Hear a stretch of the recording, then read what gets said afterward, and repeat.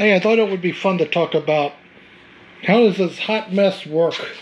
Rear engine, it's in the wrong place. Really, why doesn't this just go SN first everywhere you go?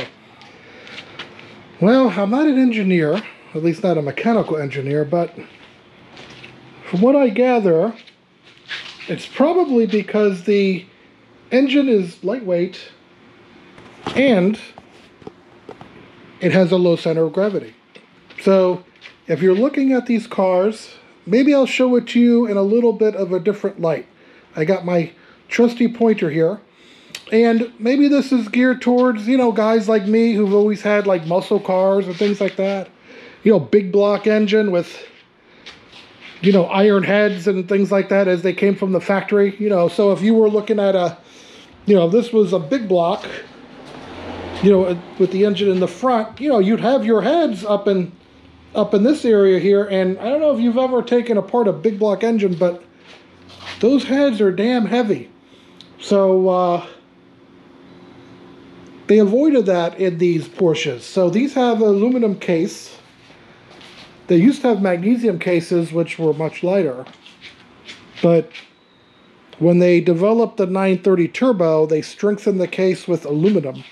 And actually, a Carrera 3.2 casting numbers start with 930. So they do share the case with the turbo. So you can think of these as a, you know, naturally aspirated 930 turbo engine in many regards. So, with that being said, if you look down here into the engine compartment, you know, this is not the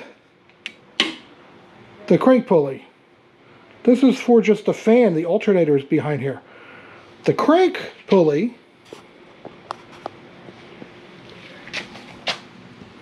is way down here.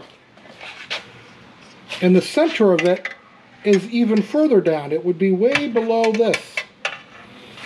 So on the outside of the car, the center of the crank probably is somewhere here just above the middle of the license plate, which means the center of the center of gravity of the car is probably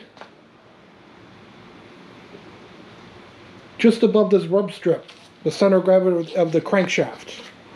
So looking at the car from the side, you're looking at somewhere in here is where the center line of the engine is.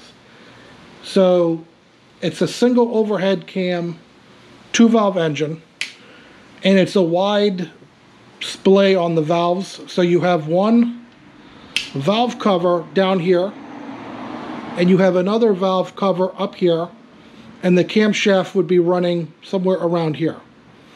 Okay? The engine ends somewhere around here. So really the the meat of the engine the weight would be right in this area right here. Okay? The intake from all of this up is relatively light compared to the weight of obviously two camshafts, the crankshaft, the rods, all that. So yeah, your weight would be isolated here and here, right in there. So that would be the engine's center of gravity. The transaxle would run from the front of the engine here, and it kind of takes up this area here. Up and here's the torque tube here. This goes through the car. And the transmission goes almost right up to that. So it would be this area here. And the way I remember it, so the flywheel would be around here.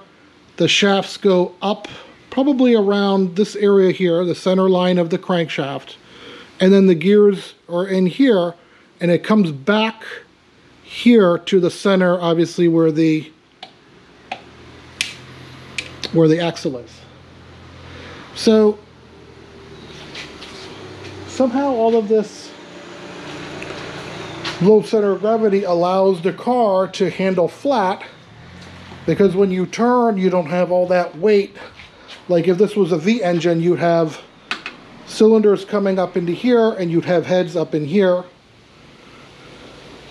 And when you turn the car, just say you're turning left, all of that weight would come this way and call, cause the car to lean.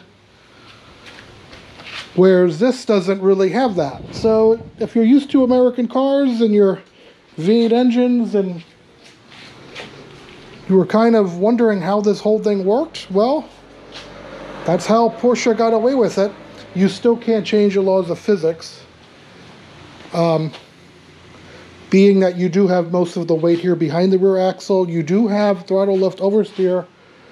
Although, as I said in previous videos, by now these cars had decent meat on the back, right? And modern rubber keep these things on the road much better, although it is always there. You have to be careful.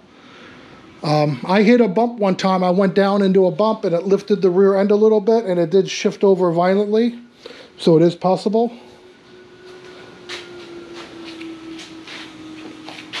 But it's not as bad as maybe the earlier ones with smaller uh, wheel and tire packages.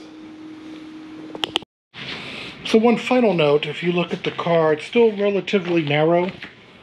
Even though the 1989s like this, they, they did have an 8-inch wide uh, wheel. And as the weight of the engines grew, that's why if you look at the newer ones, they have to definitely have to be wider in the back.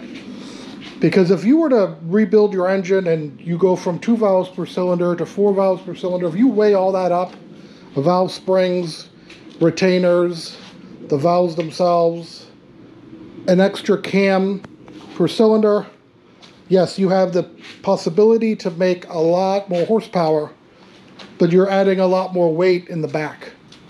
So if you ever want to know why a air-cooled 911 can kind of pull this stuff off, yeah, combination of a, a simple lightweight engine, air-cooled, and a low center of gravity. So hopefully this was a little helpful, and enlightening if you weren't familiar with how these things work, but there you go. So I hope you enjoyed the video. We'll catch you on the next one. Bye.